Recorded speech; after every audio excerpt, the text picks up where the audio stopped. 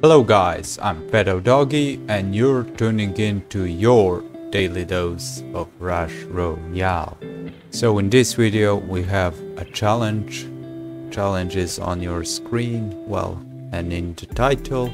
Basically, we will test starter deck on League 6 ladder.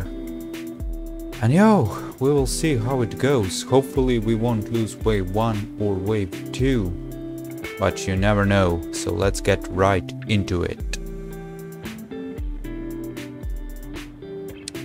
Please don't be some OP deck. Well, this is interesting. We are rolling against Clock of Power, Boreas, Demonologist Chemist, Portal Keeper. You don't see this type of deck every day. You really don't see this type of deck every day. And he is slow, currently minus 4%. Will be kinda interesting early on. Because it will hinder our wave clear quite a lot. But hopefully we will manage. Our goal should be right now filling out our board with units need as much units as we can. We did mana power up our fire mage just keep wave clearing. And so far so good. We are clearing the wave faster than he because he has well now two Boreases. That should be enough for him. Yeah, he's catching up.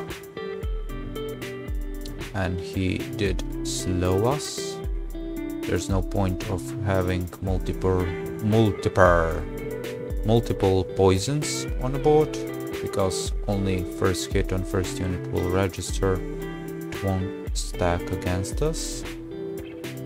I believe we should right now go for the third mana upgrade so we can clear faster. And we are clearing it faster and we got slowed again but oh well, what can you do? Uh, That's the clock of power for you. But still, we are managing to survive. And he's panic merging his chemist in... I mean, not his chemist, but he's getting panic merge chemists.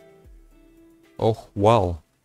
Let's do this for the attack speed buff and I managed to fail because these two units looked the same to me. I apologize for that. But oh well. Let's see how he does it. Or what he does it. And he panic merged. I mean, you don't have to do that. Now you have so many chemists that it's painful to watch. We will keep our four and one five. But we will keep now three cold mages just for the slow effect. And we will probably go for mana power up on our fire mage. Just in case we need some more DPS and we sure do. Next unit we should upgrade should be normal archers. If only we could get them to high merge ranks. That would be nice. But so far, so good. We are kinda... kinda winning. And he's leaking lives. No way.